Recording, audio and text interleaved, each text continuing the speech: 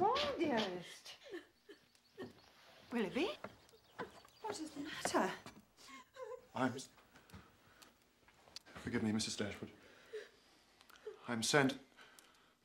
That is to say, Lady Allen has exercised the privilege of riches upon a dependent cousin and is sending me to London. When? This morning? Almost this moment. What a disappointment. But your business will not detain you from us for long, I hope. You're very kind, but I have no idea of returning immediately into Devonshire.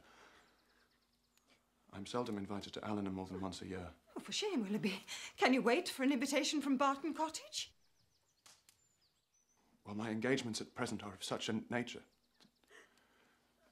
That, that is to say, I dare not flatter my.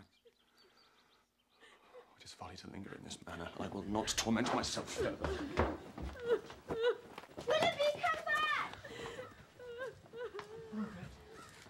Betsy to make a cup of hot tea for Marianne. What is wrong, my love? Do not ask me questions. Please, let.